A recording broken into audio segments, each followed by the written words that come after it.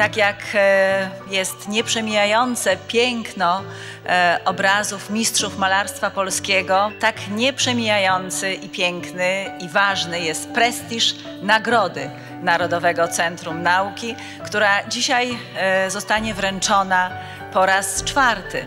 Naszym najważniejszym mottem jest doskonałość naukowa.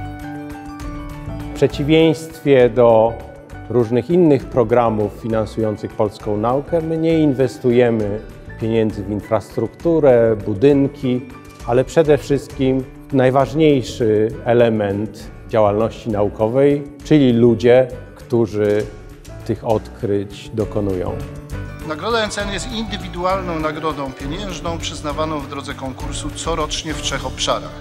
Narodowe Centrum Nauki jest instytucją, która mm, rozdziela pieniądze na badania podstawowe e, w postaci grantów, czyli w trybie konkursowym, w trybie, w którym liczy się e, pomysł, w którym liczy się konkurencja, w którym się liczy również dorobek naukowy.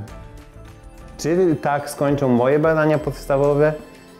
Myślę, że nie, ale nawet jeśli jest cień szansy, to warto spróbować.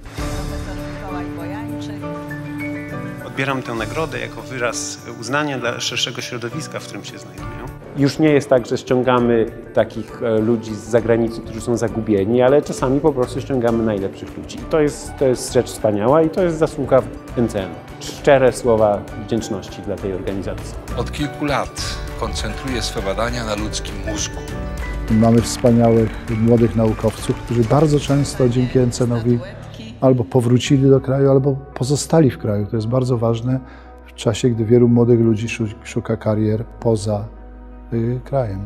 za tą odwagę i za zrozumienie, czym jest proces twórczy w nauce, e, NCN-owi chcę, chcę podziękować. Dla mnie NCN był błogosławieństwem. Ja wróciłem do Polski po 11 latach za granicą i byłem pełen obaw o to, czy uda mi się finansować badania, y, czy, czy uda mi się y, zbudować tutaj zespół badawczy i to jest możliwe przede wszystkim dzięki, y, dzięki grantom NCN-u I, i, i to widać, że, że idzie taka nowa fala. A żeby y, ból, który zmienia nam duszę, w ogóle nie istniał. Gratulujemy profesor Katarzyna Starowicz-Bubak, e, laureatka nagrody w obszarze nauk o życiu. W pojedynkę nie da się zbyt wiele osiągnąć, także niezmiernie ważne jest wsparcie mojej rodziny.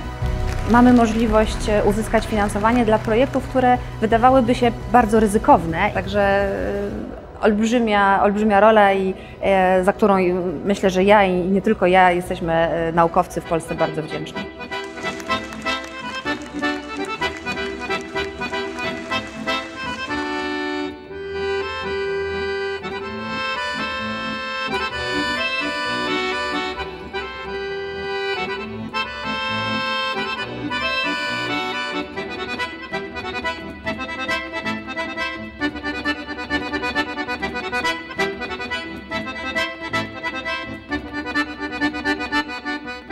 Z roku na rok y, y, prestiż nagrody NCN rośnie i to było widać w dniu dzisiejszym. Ten prestiż, jestem przekonany, będzie rósł. Tak, tak jak mam wrażenie, rośnie prestiż czy autorytet całego NCN-u jako instytucji w środowisku.